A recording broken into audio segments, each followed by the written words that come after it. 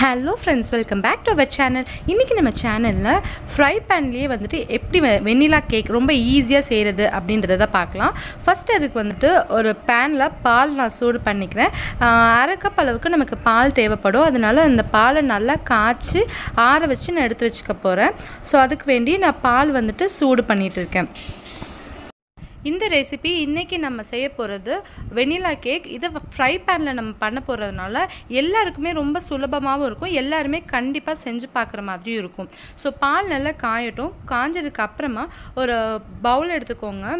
Mixing பவுலில் வந்துட்டு ஒரே ஒரு முட்டையை நான் உடச்சி ஊற்றிக்கிறேன் இப்போ இந்த முட்டையை வந்துட்டு நல்லா அடிச்சுக்கோங்க. ஓரளவுக்கு நல்லா பீட் பண்ணிட்டு அதுக்கப்புறமா இதில் நம்ம மற்ற இன்க்ரீடியன்ஸ்லாம் நம்ம ஆட் பண்ணிக்கலாம். ஓரளவுக்கு ஒரு பேல் எல்லோ கலரில் மாறுற வரைக்கும் லைட்டாக பீட் பண்ணிக்கோங்க போதும். ஒரு விஸ்கோ இல்லை ஃபோக்கோ வச்சு நல்லா அடிச்சுக்கோங்க. இதனால் இந்த மாதிரி அடித்ததுக்கப்புறமா இதில் நெக்ஸ்ட் இன்க்ரீடியன்ட் ஆயில் ஆட் பண்ணிக்கலாம் நம்ம. நான் சன்ஃப்ளவர் ஆயில் எடுத்திருக்கேன். கால் கப் அளவுக்கு எடுத்துக்கோங்க. எந்த பிராண்டாக வேணாலும் இருக்கலாம். ஸோ பிராண்டை பற்றி எந்த ப்ராப்ளமும் இல்லை. ஸோ இந்த ஆயிலில் ஆட் பண்ணிவிட்டு ஒரு மிக்ஸ் பண்ணிவிட்டு அதுக்கப்புறமா சுகர் வந்துட்டு ஹாஃப் கப் எடுத்திருக்கேன். இது சரியான அளவாக இருக்கும் ஸோ இந்த ஹாஃப் கப் சுகர் வந்துட்டு பவுடர் பண்ணாமலே டேரெக்டாக ஆட் பண்ணிக்கலாம் நம்ம. ஸோ இதையும் நல்லா கலந்து விட்டுக்கோங்க. இதுக்கப்புறம் நம்ம நெக்ஸ்ட் இன்க்ரீடியண்ட் ஆட் பண்ணணும். அதுக்குள்ளே வந்துட்டு இந்த சுகரை நல்லா டிசால்வ் பண்ணிக்கோங்க. இந்த அளவுக்கு டிசால்வ் லைட்டாக ஆனதுக்கப்புறமா இதில் அரை கப் வந்துட்டு பால் ஆட் பண்ணிக்கலாம். ஸோ இப்போ இந்த அரை கப் அளவுக்கு பால் வந்துட்டு நம்ம இதில் ஆட் பண்ணிக்கலாம். ஸோ இப்போ இது எல்லாமே நல்லா மிக்ஸ் பண்ணிடுங்க டோட்டலாக சுகர் டிசால்வ் ஆயிடணும் இதில். டிசால்வ் ஆனதுக்கு அப்புறமா வந்துட்டு நெக்ஸ்ட்டு இன்க்ரீடியன்ட் நம்ம மைதா மாவு ஆட் பண்ண போகிறோம் ஒரு கப் அளவுக்கு மைதா மாவு எடுத்துக்கலாம். ஸோ இந்த அளவெல்லாம் நான் கீழே மறுபடியும் டிஸ்கிரிப்ஷன் பாக்ஸில் நான் கொடுக்குறேன். நீங்கள் செக் அவுட் பண்ணிக்கோங்க. கரெக்டான அளவாக ஸோ இப்போ இது எல்லாத்தையும் வந்துட்டு நல்லா மிக்ஸ் பண்ணிக்கோங்க. நான் சொன்ன கப்ஸோட அளவெல்லாம் பார்த்தீங்க அப்படின்னா கடையில் நமக்கு கப்ஸ் கிடைக்குதுல அந்த கப்ஸ் தான். அது கூட வந்துட்டு ஒரே ஒரு சின்ன ஸ்பூனில் வந்துட்டு ஒரு ஸ்பூன் வந்துட்டு பேக்கிங் சோடா ஆட் பண்ணியிருக்கேன் அது கூட வந்துட்டு இந்த அளவுக்கு ஒரே ஒரு பிஞ்ச் அளவுக்கு வந்துட்டு சால்ட் ஆட் பண்ணிக்கலாம். அப்போ வந்துட்டு நமக்கு சுகரை பேலன்ஸ் பண்ணி கொடுக்கும். அதுக்காக. ஸோ இப்போ இது எல்லாத்தையும் நல்லா மிக்ஸ் பண்ணிடுங்க இப்போ இது கூட வந்துட்டு கொஞ்சமாக ஒரு டியூபிள் ஒரு டேபிள் ஸ்பூன் அளவுக்கு வெனிலா எசன்ஸ் ஆட் பண்ணிக்கலாம்.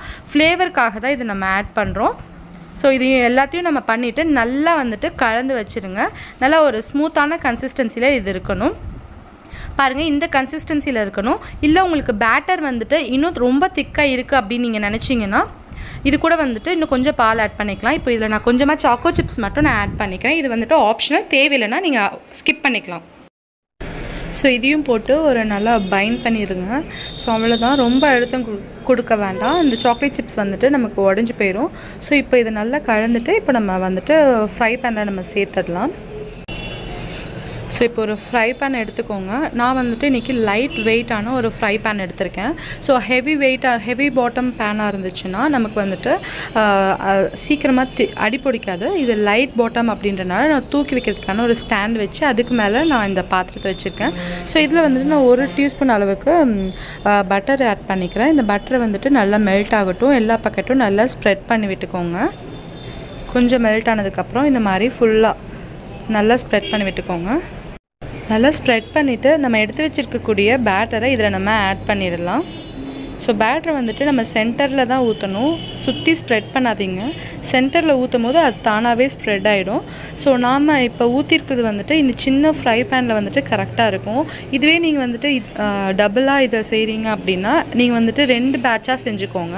அப்படி இல்லைன்னா வெரி பெரிய பேன் இருந்துச்சு அப்படின்னா நீங்கள் அதில் கூட ஆட் பண்ணிக்கலாம். ஸோ இதை ஒரு மூடி போட்டு பதினஞ்சுலேருந்து பதினெட்டு நிமிஷம் வரைக்கும் கரெக்டாக குக் ஆகும். எனக்கு கரெக்டாக வந்துட்டு பதினெட்டு நிமிஷம் ஆச்சு. ஸோ நான் இடையில வந்துட்டு ஓப்பன் பண்ணி பார்த்துக்கோங்க. வெந்துருச்சா அப்படின்னு செக் பண்ணிக்கோங்க. நான் வந்துட்டு ஓப்பன் பண்ணி கரெக்டாக பதினெட்டு நிமிஷத்தில் நான் செக் பண்ணுறேன் அப்போ பார்த்தீங்க அப்படின்னா ஒரு குச்சி இல்லை இந்த மாதிரி ஒரு கத்தி விட்டு செக் பண்ணிங்கன்னா ஏ ஒட்டாமல் வரணும். ஸோ ஒட்டாமல் வந்துருச்சுன்னா நமக்கு ரெடி ஆகிடுச்சு அப்படின்னு அர்த்தம்.